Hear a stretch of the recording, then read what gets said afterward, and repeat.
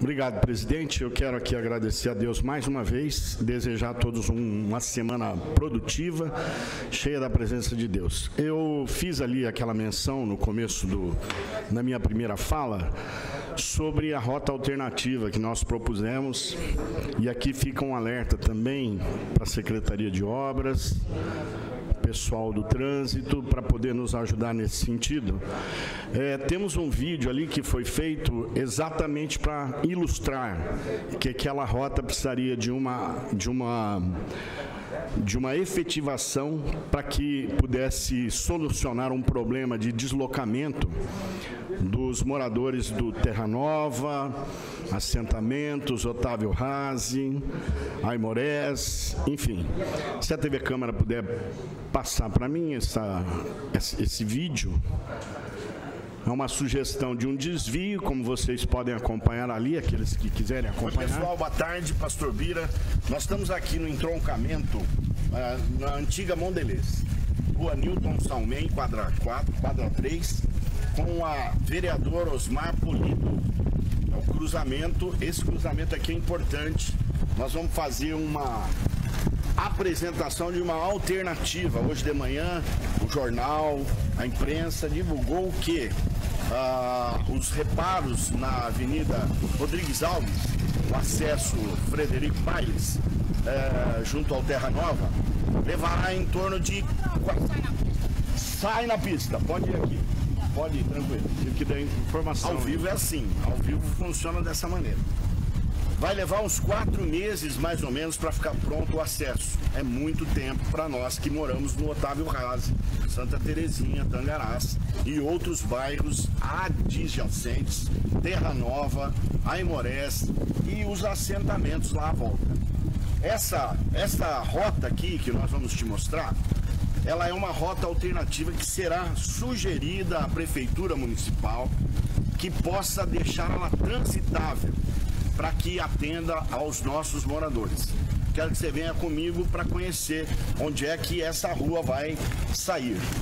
Você pode observar, ó, aqui é o Distrito Industrial, antiga Mondeleza à nossa direita, e aqui começa sentido Et sentido da ET é ali. Mais um pouquinho, à esquerda ET, Vargem Limpa, e à direita, Terra Nova, Otávio Razi, Ecoponto.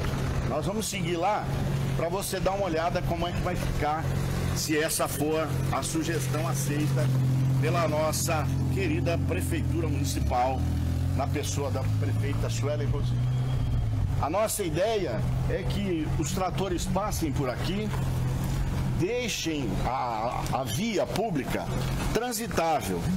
Jogue cascalho, fresas de asfalto, para que o caminho seja facilitado e não demoremos também tanto tempo, não precisaria ir até o zoológico ou uma outra rota um pouco maior.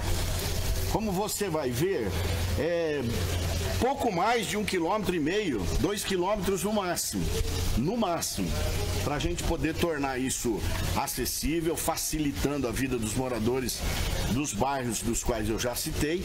E eu vou te mostrar aqui comigo, vem comigo. Aqui sai nas costas do, do, do condomínio Terra Nova. A saída já é direto ao ecoponto. Existe apenas a necessidade da canalização do esgoto, que hoje passa no mesmo córrego que rompeu lá. Canalizando o esgoto aqui seria algo mais simples e mais rápido para a gente poder utilizar essa rota alternativa que vai se tornar importante e essencial para esses próximos meses. Se realmente demorar quatro, cinco meses, nós, os moradores, vamos ter muito prejuízo. Então, fica aqui esta sugestão. Também, também a sugestão de que as rotas de ônibus venham até a portaria do Terra Nova. nós já protocolamos um ofício a esse respeito, solicitando que os ônibus que vêm é, até o, o Otávio Razi cheguem até a portaria do condomínio Terra Nova, porque existem muitas pessoas que trabalham por ali. Vem comigo. Ali na frente, ó, onde você está vendo aqui. Nós vamos ter que encerrar o vídeo, 20 porque já o tempo estourou. Já está nas nossas redes sociais, se você quiser dar uma olhada, já ficou a sugestão aí. Deus abençoe a todos. Mauro merece o melhor. Fiquem com Deus.